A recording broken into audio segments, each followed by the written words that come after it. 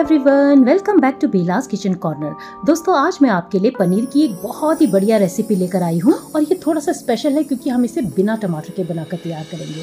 क्योंकि हमारे यहाँ भाई टमाटर बहुत ज़्यादा महँगे हो गए हैं। बाकी सब्ज़ियाँ भी महँगी हुई हैं, लेकिन टमाटर तो कुछ ज़्यादा ही महँगे हो गए हैं। दो सौ किलो तक पहुँच गए हैं। और मेरे यहाँ कुछ मेहमान आने वाले थे डिनर के लिए और कोई भी डिनर पार्टी बिना पनीर और चिकन के तो पूरी होती नहीं है। तो पनीर बनाना भी ज़रूरी था और बिना टमाटर के तो पनीर बनाना थोड़ा सा मुश्किल लगता है। तो मैंने सोचा क्यों ना कुछ एक्सपेरिमेंट किया जाए और कुछ ऐसा ट्राई किया जाए, जिससे कि हमारी पनीर भी एकदम क्रीमी और बढ़िया, एकदम रेस्टोरेंट स्टाइल बनकर तैयार हो और हमें टमाटर खरीदने की भी ज़रूरत न पड़े। तो चलिए, आज मैं आपके लिए बनाने वाली हूँ बिना टमाटर के ये बहुत ही रिच क्रीमी और डिलीशियस पनीर। और इस डिश को बनाकर जब एक बार आप ट्राई करेंगे ना तो आपको बिल्कुल भी यकीन नहीं होगा कि बिना टमाटर की भी आप इतनी बढ़िया पनीर बनाकर तैयार कर सकते हैं। तो चलिए, इससे पहले कि ये रेसिपी मैं आप सभी के साथ शेयर करूँ। अगर आप मेरे चैनल पर नए हैं या फिर अभी तक आपने मेरे चैनल को सब्सक्राइब नहीं किया है तो जल्दी से मेरे चैनल को सब्सक्राइब कर लें और साथ लगे बेल आइकन को प्रेस करके उसे ऑन कर दें, ताकि मेरी लेटेस्ट वीडियोज़ के अपडेट्स आपको सबसे पहले और इमीजिएटली मिल जाए। और अपने प्यारे प्यारे कमेंट्स के साथ लाइक बटन ज़रूर प्रेस कर दीजिएगा। और इस वीडियो में आखिरी तक मेरे साथ बने रहिए और अगर ये रेसिपी आपको पसंद आती है तो इसे अपने फैमिली और फ्रेंड्स के साथ शेयर करना बिल्कुल मत भूलिएगा। तो चलिए, बिना किसी देरी के शुरू करते हैं ये रेसिपी तो इस डिश को क्रीमी टेक्सचर देने के लिए हम एक पेस्ट बनाएँगे। तो चलिए देखते हैं कैसे बनाएँगे ये पेस्ट तो मैंने यहाँ पे चार बड़े चम्मच तेल को गर्म कर लिया है। इसमें मैं डाल दूँगी एक छोटा चम्मच साबुत जीरा। हल्के से इसको हम थोड़ा सा फ्राई कर लेंगे जब तक इसका कलर जो है हल्के से चेंज ना हो जाए। और जैसे ये हल्का सा फ्राई हो जाए, इसमें हम डाल देंगे करीब दस या बारह काजू। इसको भी हम हल्का सा फ्राई कर लेंगे जब तक ये एकदम लाइट गोल्डन ना हो जाए। फ्लेम को एकदम लो पर रखिएगा, क्योंकि काजू बहुत जल्दी फ्राई हो जाते हैं।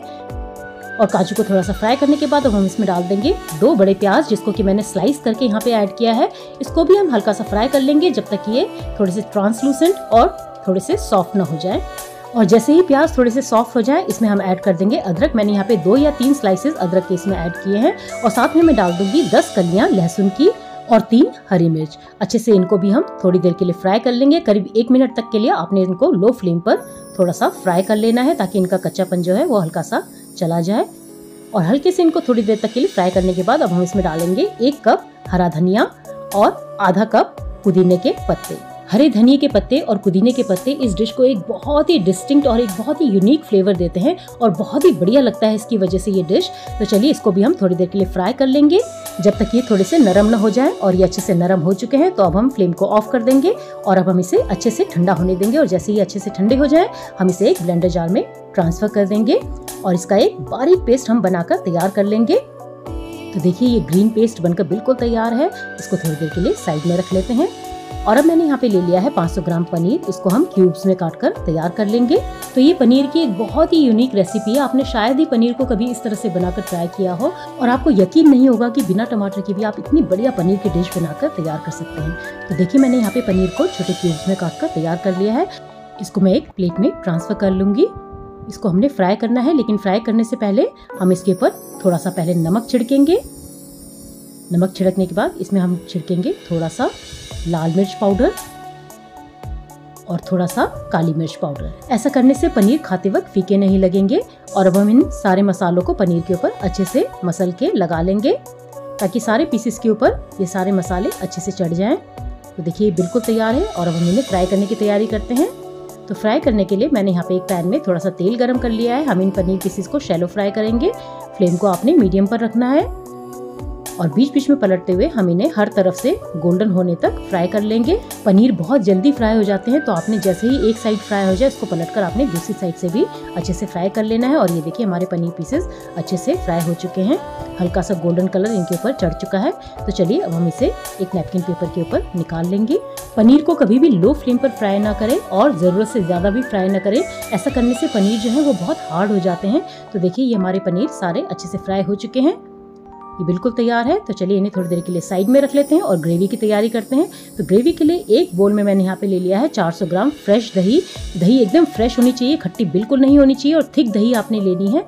अच्छे से इसको हम थोड़ा सा बीट कर लेंगे जब तक कि ये क्रीमी ना हो जाए। और अच्छे से इसको बीट करने के बाद इसमें हम तैयार किया हुआ ग्रीन पेस्ट ऐड कर देंगे और इसको भी अच्छे से इस दही के साथ हम मिला लेंगे। तो दही और ग्रीन पेस्ट की वजह से ये हमारी जो ग्रेवी है, बहुत ही रिच और क्रीमी बनकर तैयार होगी। तो देखिए, मैंने यहाँ पे ग्रीन पेस्ट को अच्छे से दही से मिला लिया है। अब इसमें मैं डाल दूँगी नमक।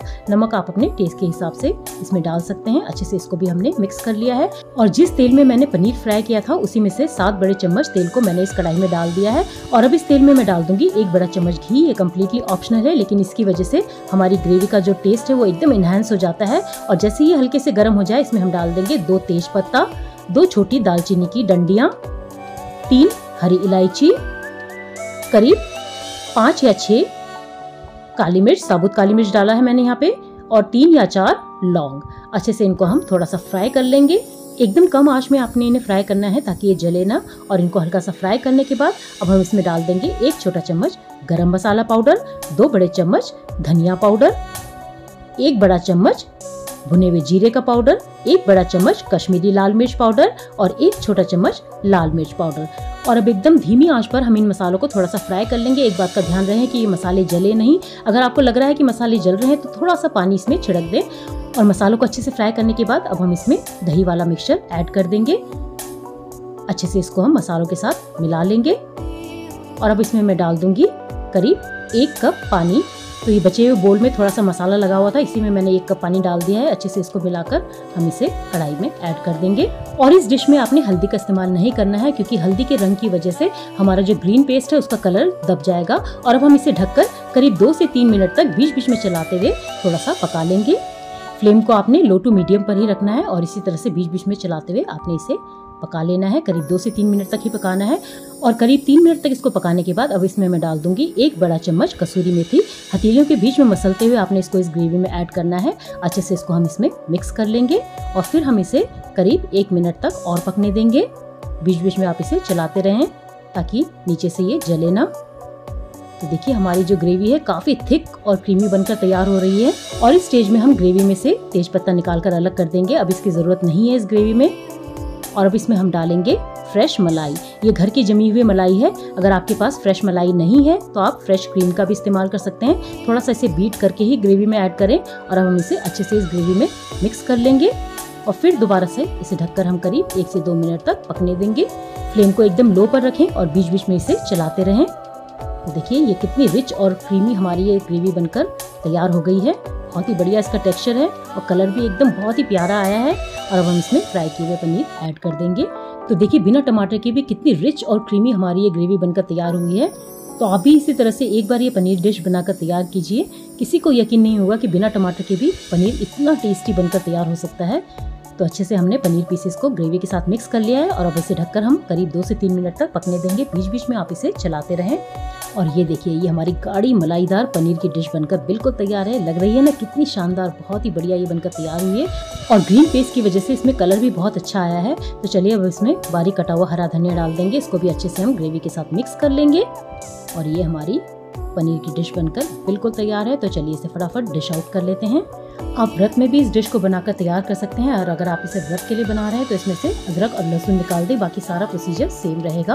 और बिना अदरक, लहसुन के भी ये डिश बहुत ही बढ़िया बनकर तैयार होती है। तो चलिए अब मैं इसे कटे हुए हरे धनिया के पत्ते और क्रीम से गार्निश कर लूँगी।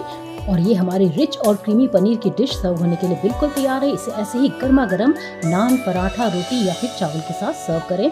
बहुत ही अमेजिंग इसका टेस्ट होता है और बनाना बेहद आसान है। तो मैं फटाफट टेस्ट करके बताती हूँ कि हमारी ये पनीर की सब्ज़ी कैसी बनकर तैयार हुई है। दिखने में तो किसी भी रेस्टोरेंट में बनने वाली पनीर डिश से कम नहीं लग रही है। फटाफट टेस्ट कर लेती हूँ। और यकीन मानिए दोस्तों, ये बहुत ही बढ़िया बनी है। पनीर एकदम परफेक्टली फ्राई हुए हैं और बहुत ही सॉफ्ट लग रहे हैं और काली मिर्च, नमक और लाल मिर्च पाउडर की वजह से उनका टेस्ट जो है फीका नहीं लग रहा है, बहुत ही अच्छा लग रहा है। और ग्रेवी भी बहुत ही फ्लेवरफुल और क्रीमी बनकर तैयार हुई है। हमने जो ग्रीन पेस्ट और दही इसमें यूज़ किया है, उसकी वजह से इसका जो टेक्सचर है बहुत ही अमेजिंग है और टेस्ट भी बहुत ही बढ़िया है। तो एक बार आप इस रेसिपी को बनाकर ज़रूर ट्राई कीजिए, मुझे पूरा यकीन है आप सबको ये रेसिपी बहुत ज़्यादा पसंद आएगी। तो दोस्तों, आज ये बिना टमाटर वाले पनीर की डिश आपको कैसी लगी? अगर ये रेसिपी आपको पसंद आई तो उसको लाइक कमेंट और शेयर ज़रूर करें। और अगर अभी तक आपने मेरे चैनल को सब्सक्राइब नहीं किया है तो जाते जाते मेरे चैनल को भी ज़रूर सब्सक्राइब करके जाएँ। तो मिलते हैं अगले वीडियो में किसी नई रेसिपी के साथ। तब तक अपना और अपने परिवार वालों का ख्याल रखिए। Bye and take good care of yourself